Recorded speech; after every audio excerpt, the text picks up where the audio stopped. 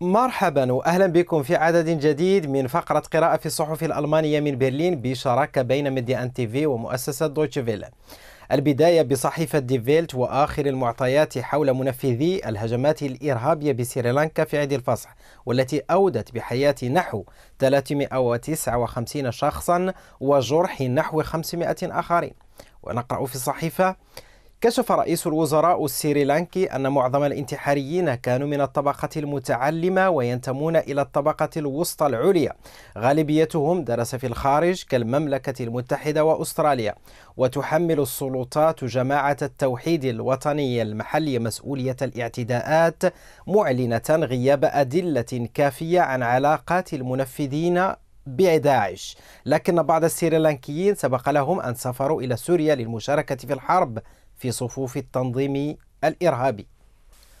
وإلى صحيفة شفابيش تسايتونغ التي تابعت الحملة الانتخابية البرلمانية الإسبانية والخطاب الذي يتبناه رئيس حزب فوكس اليمين المتطرف للظفر بأصوات الناخبين والدخول إلى البرلمان في سابقة تاريخية وكتبت الصحيفة يركز سانتياغو أباسكال كوندي في خطابه على الدفاع عن الثقافة والأمة الإسبانيين.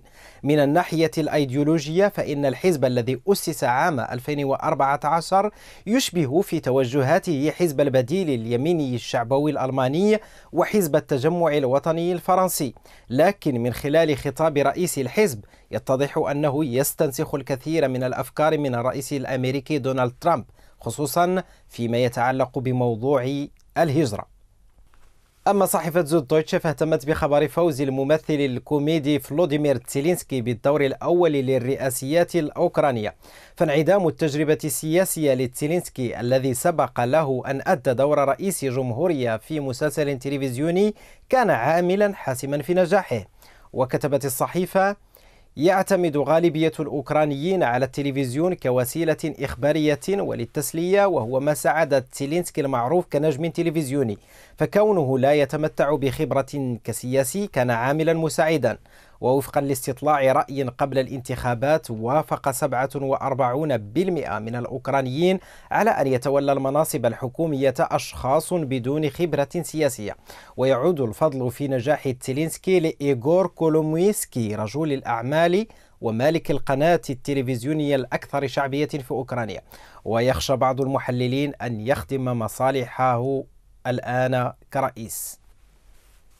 وإلى تاغس شبيغل والخلافات بين المستشارة الألمانية ميركل والرئيس الفرنسي ماكرون حول عدد من القضايا الأوروبية. آخر فصولها رئاسة المفوضية الأوروبية والبريكسيت ونقرأ في إحدى المقالات بينما تدعم ميركل مرشح حزبها مانفريد فيبر لمنصب رئيس المفوضية الأوروبية. ماكرون يمكن أن يقول بعد الانتخابات إن رؤساء الدول والحكومات لهم الحق في ترشيح خليفة ليونكر. الخلاف الثاني يخص البريكسيت فماكرون أراد منح لندن مهلة قصيرة الأمد لكن ميركل ترى العكس تماما. نختم بموقع دويتشفيل الذي أثار موضوع الجفاف الذي يهدد ألمانيا بسبب قلة التساقطات وما يرتبط به من مخاطر كتأثر إمدادات مياه الشرب وانقطاع التيار الكهربائي واندلاع الحرائق. ونقرأ في المقال رغم التساقطات التي شهدها فصل الشتاء الماضي إلا أن نسبة التساقطات ما بين ديسمبر وفبراير ليست كافية ونتيجة لذلك صارت التربة في العديد من مناطق ألمانيا أكثر جفافا. ولهذا السبب فالمزارعون يخشون مرة أخرى من خسائر كبيرة في محصولهم.